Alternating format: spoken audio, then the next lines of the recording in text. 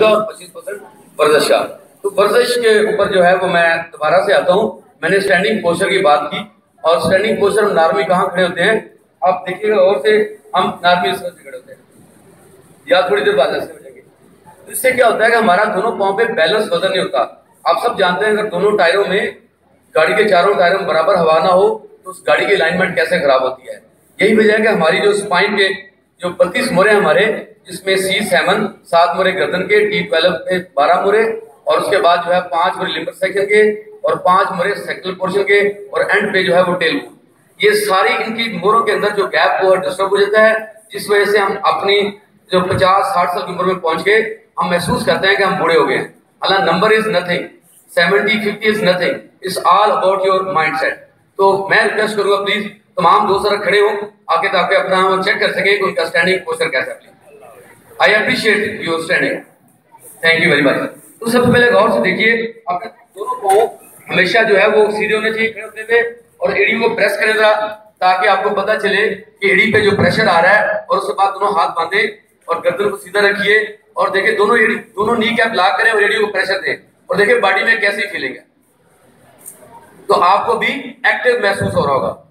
आप हैरान होंगे कि आज जितनी अब खातन को एडियो में प्रॉब्लम हो रही है, उसकी सर्जरी पे जा रहे हैं। That is only standing posture अगर स्टैंडिंग पोस्चर फिक्स कर लें तो ये इस बीमारी से सर्जरी से आप लोग बच सकते हैं। अब आप चलने का अंदाज देखिएगा। मैं छोटे बच्चों को दावत दूँगा।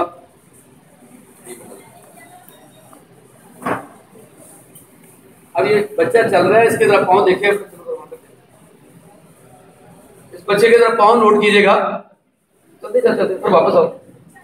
पाँव को ना देखो ऊपर देखो। अब इस बच्चे के पाँव नोट कर, सीधे आ रहे हैं। अगर मैं यहाँ पे कोई सीनियर एज का दोस्त बुलाऊँगा स्लीप सब आ गई आइए प्रेशर आप अब सर पाँव आएगा। अब जरा इनके पाँव नोट कीजिएगा इनके पाँव तिरछे मिलेंगे आपको। ये जानबूझ के नहीं कर रहे। ये अनइंटेंशनली इनका पाँव तिरछा जा रहा है। अब देख लें इनका पाँव तिरछा है। आप इमेजिन करिए कि जब हम दुनिया में आते हैं, हमारी अलाइनमेंट बिल्कुल ठीक होती है। जो जो हम बड़े होते हैं, हम एक्सेस में नहीं रहते, जिस वजह से हमारी अलाइनमेंट डिस्टर्ब होती है। और हम ना चाहते हुए भी जो जो सीनियर एज में जाते हैं, हम डक वॉक पे शिफ्ट होते हैं। जितनी सीनियर एज की खातन है, वो सब नॉर्मली आपको ऐसे तो ये ये जो अंदाज है, सिर्फ़ इस वजह से है कि हमारी लाइफ में वर्जिश नहीं है। हम हम सब कुछ कर लेंगे। हॉस्पिटल चले जाएँगे, सर्जरी करा लेंगे बड़े बड़े जो है वो एक्सपर्ट से मिल लेंगे लेकिन अनफॉर्चुनेटली हमारे माइंड में वर्जिश के बारे रोल लेगा। इनके लिए जरा क्लैप प्लीज़ करिएगा गुड जॉब अब इससे जो अगर आप स्टैंडिंग पोस्टर को ठीक करेंगे तो आप हैरान होंगे कि आपकी अलाइनमेंट ठीक हो जाए, मोरों की तो आपका जो है वो चलने का अंदाज बिल्कुल सीधा होगा। फिर इससे एक और स्टेप जो है। जब हम ऐसे पाँव से खड़े होते हैं तो क्या होता है कि आप ये पाँव उठा के ऐसे घुमाएँ और मूव करें। आप हैरान होंगे कि एल फोर एल फाइव में जो चारों मोरे उनके अंदर रोटेशन आती है। जब हम तिरछे पाँव से चलते हैं तो हमारे मोरों की अलाइनमेंट स्पेसिंग बिल्कुल तिरछी हो जाती है। जिसकी वजह वक्त गुजरने के साथ साथ हम जो है वो, हम लिवर सेक्शन में प्रॉब्लम आने से हम स्पाइन पेशेंट बन रहे हैं। और हम ये समझते हैं कि मेरी उम्र पचास साल है, साठ साल है, और इसलिए कि मुझे ये प्रॉब्लम आ रहा है। ये बिल्कुल दिस इज़ नेगेटिव अप्रोच और रॉन्ग अप्रोच है। इसको आप चेंज कर सकते हैं। हमारा ज़िंदगी में सबसे जो बड़ा अलमिया है, वो है माइंड सेट आज हर बंदा मनफी बात को पहले पिक करेगा। आप देखेंगे अपने माशरे में बल्कि घरों में खास करके अपने लाइफ पार्टनर कोई बात कहे, वो उसमें से मनफी पहलू पिक करेगी मुस्बत नहीं पिक करेगी। तो ये सबसे बड़ा इसको कैसे चेंज किया जाए? और इसको चेंज करने के लिए अभी तक जितनी रिसर्च हुई है योगा से बेहतर कोई टूल नहीं है जिससे आपका नर्वस सिस्टम बदल सके। तो इस लिए हम रिक्वेस्ट करेंगे कि हमारा जो मिशन दी वंडरफुल का, पाकिस्तान का जो मिशन है, वो ये है कि आए हॉस्पिटल वीरान करें और पार्क आबाद करें। इट डज नॉट मीन के हॉस्पिटल बंद हो जाएँगे। उसका मतलब यह है कि लोग instead going to the hospital वो प्रेफरेंस दें पार्क में आने को और वर्जिश करने को और योगा करने को। उससे क्या फ़ायदा होगा कि ये प्रिवेंटिव मेथड जब तक आप ज़िंदगी में नहीं लाएँगे तो ये सर्जरीज और ये मेडिसिन जिनकी जितने ज़्यादा साइड इफेक्ट्स हैं, वो सब आपको बर्दाश्त करने पड़ेंगे। अब चॉइस आपके पास है। अगर आप बीमार हो गए सर्जरी करवा के आप एक्सेल तरफ़ जाना चाहते हैं, या उस स्टेज से पहले ही अपनी लाइफ को बदल के एक्सेल पे आना चाहते हैं, फैसला आप लोगों के हाथ में है। तो इसी को देखते हुए मैं दूसरी चीज़ जो है किसी योगा के रेफरेंस से बताऊँगा तो आप सब जानते हैं हमारी ज़िंदगी में कौन सी ऐसी अहम चीज़ है जिसके बगैर दो मिनट नहीं गुजार सकते। मैं एक्सपेक्ट करूँगा इधर लेडीज़ से आंसर आना चाहिए प्लीज़ क्यों, यानी? आंसर दो मिनट नहीं गुजार सकते। मोबाइल कमाल गुड डॉक्टर साहब तो जानते हैं सांस।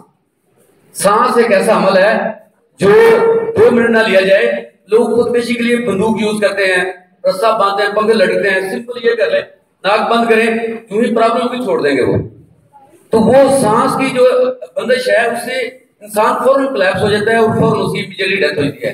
क्योंकि हमारे जो न्यूरॉन्स हैं, जो दिमाग में चल रहे हैं, जब उनको ऑक्सीजन नहीं मिलती तो वो अपना काम करना छोड़ देते हैं और उसी वक्त डेथ होती है।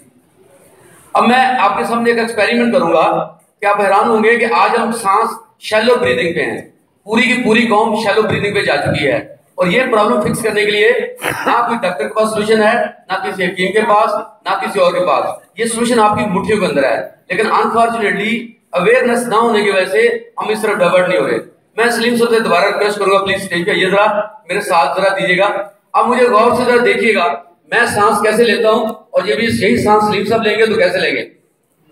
जरा नोट कीजिएगा प्लीज़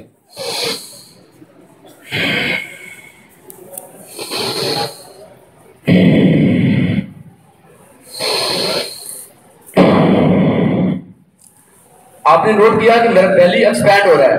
मेरे चेस्ट में कोई मूवमेंट नहीं आ रही सांस की। क्योंकि हमारे जो लंग्स का साइज़ है वो यहाँ पर है और जब लोअर पोर्शन में ब्रीथ जाएगा तो बेली एक्सपैंड होगी। बेली है बैलून से। जब हम बेली ब्रीथिंग पे जाते हैं तो बैलून हमेशा एक्सपैंड होता है और निकालने से वो सुगड़ता है। अब हम स्लिम सब चेक करते हैं और जरा गौर कीजिएगा। नोट कीजिए प्लीज़ सांस कहा गया? देखिए सांस के चेस्ट में होल्ड कर रहे हैं आगे आते जाए आगे आप आएँगे ना मलिर नदी के पुल से पहले थोड़ा सा पहले उल्टे हाथ में बिल्कुल मेन रोड पे बोर्ड लगा मिलेगा रॉयल पैलेस रॉयल पैलेस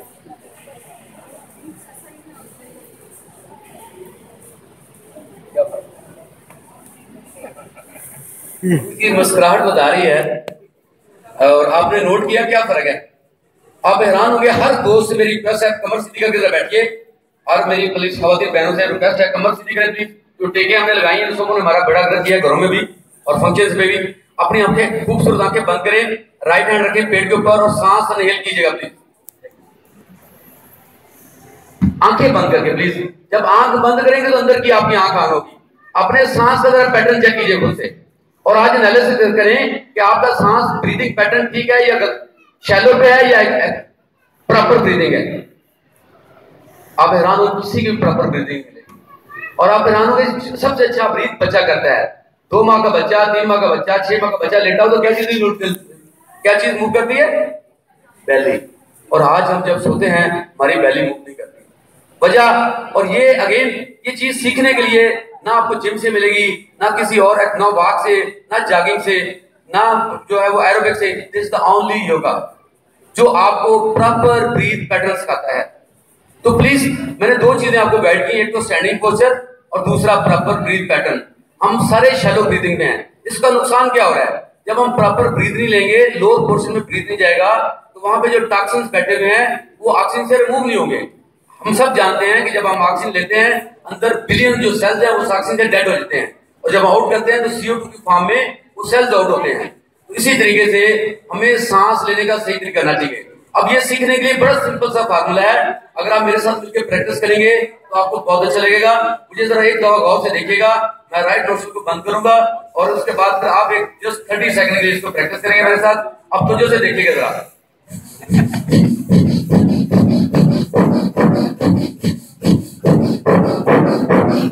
इसी तरह फिर दूसरी तरफ़।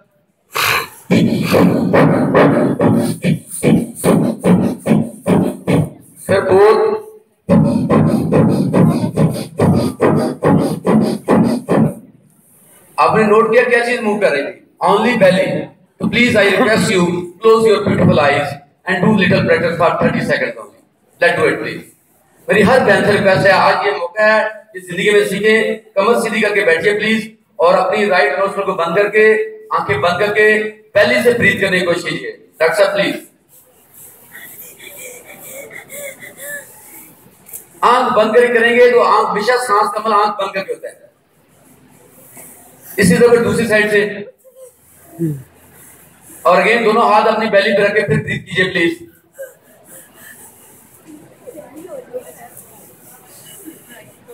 thank you thank you very much आपकी क्लैप बताएगी आपको ये वाली एक्सरसाइज कैसी लगी? है इससे नेक्स्ट चीज़, हमने बड़ी स्ट्रेस पे बात की डिप्रेशन पे बात की। आप यकीन करें स्ट्रेस इज़ नथिंग इसका कोई वजूद ही नहीं है। May be I am sorry मैं कंट्राडिक्ट करूँगा। डॉक्टर्स की स्टेटमेंट से लेकिन रियलिटी है it's inability to manage your mental situation it's inability it's in जो इनकॉम्पिटेंस आप एक भी सिचुएशन आ गई है, उस सिचुएशन को नहीं मैनेज कर पा रहे तो वो आपकी जो डिमांड है और आप जो परफॉर्मेंस दे रहे हैं, जो एग्जीक्यूशन कर रहे हैं, वो मैच नहीं कर रही. इट क्रिएट्स ए स्ट्रेस और अब स्ट्रेस को आप कैरी करके जो है वो मूव कर रहे हैं. वाई नॉट आप उसको इस तरह से जो है वो महसूस ना करें, बल्कि अपनी कॉम्पिटेंस पे तवज्जो दें. अपनी स्किल को इम्प्रूव करें। अपनी जो मैनेजमेंट की स्किल है, जो इनबिलिटी टू मैनेजमेंट है, उस एबिलिटी को इंक्रीज किया जाए। आज प्रॉब्लम यह है कि हमारे कहीं भी ट्रेनिंग नहीं दी जाती। मतलब घर में अगर एक बच्ची या बच्चे की हम शादी करते हैं, नए, नया पौधा जब हम लगाते हैं ऑनेस्टली कोई प्रॉपर ट्रेनिंग देता ना अपनी बेटी को और ना बाप अपने बेटे को।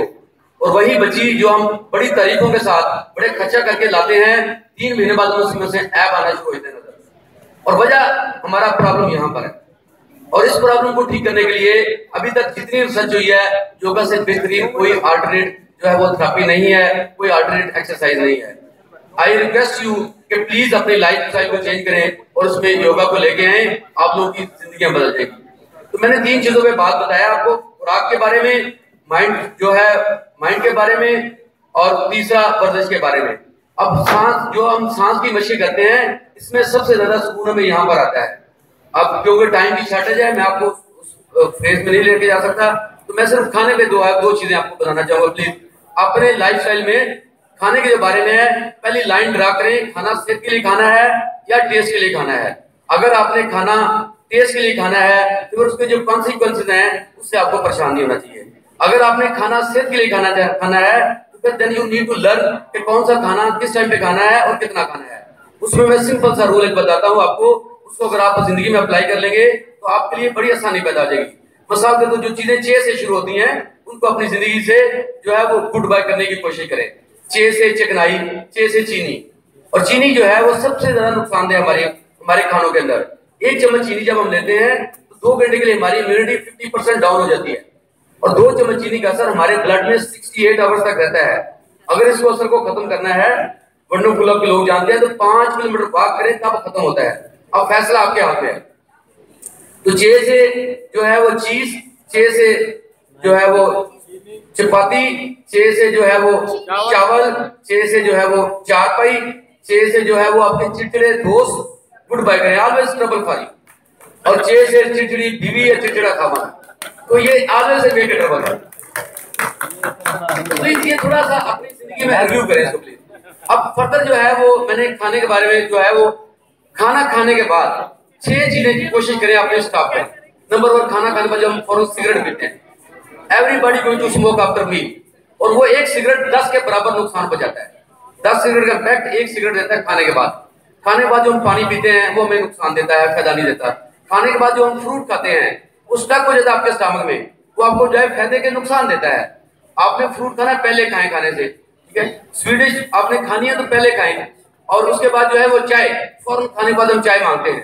तो प्लीज़ ये अपनी हैबिट चेंज करें। भले चाय पी लें आलू अच्छी नहीं है सेहत के लिए, लेकिन 40 मिनट ठहर के पी लें। लेकिन फ़ौरन खाने के बाद चाय ना पिए। ये आपको डैमेज करती है, नुकसान देती है। और इसी तरह से चाय के फ़ौरन खाना खाने के बाद सोना। ये प्लीज़ अपनी हैबिट चेंज करें। ये आपके लिए अच्छी नहीं है। और खाने के फ़ौरन बाद नहाना। खाना खाने के बाद आधे घंटे तक आपको नहाना नहीं चाहिए। तो हमारी बॉडी का जो टेम्परेचर है, ये थर्टी सेवन डिग्री है, जब हम खाना खाते हैं तो seventy percent energy of your body is busy to consume your food और अगर हम उसमें पानी डालेंगे तो बॉडी को वाटर की वजह से टेम्परेचर को मैनेज करना पड़ेगा, जो आपके स्टामक को इफ़ेक्ट करेगा।